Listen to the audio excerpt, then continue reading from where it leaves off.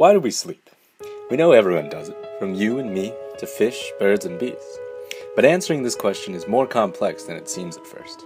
So let's start by answering what is sleep? We know it's composed of cycles of roughly 90 minutes, 80 minutes of non REM sleep, or non rapid eye movement sleep, and 10 minutes of REM sleep, during which most people dream. The average adult needs 8 hours of sleep, young adults need closer to 9, and little children sleep much, much longer. But still, why do we need it? There have been several reasons suggested in the past to conserve energy, avoid predators, repair the body, grow the brain. But none of these theories had the empirical data to back them up.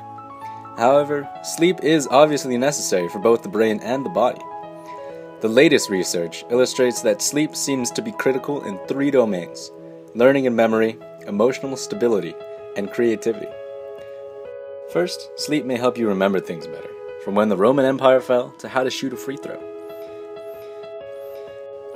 It may also help you stay emotionally stable and calm in the face of stress. And finally, it seems that sleep helps foster insight and creativity. In fact, some of humanity's greatest accomplishments come from dreaming, from Mendeleev's periodic table to the tune of the Beatles' hit song Yesterday.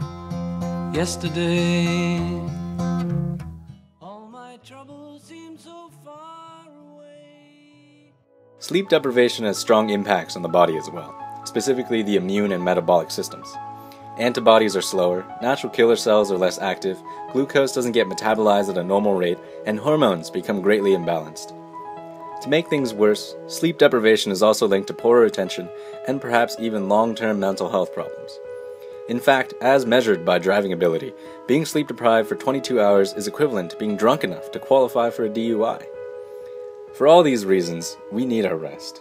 So sleep tight, sleep well, and it might just make you a better person.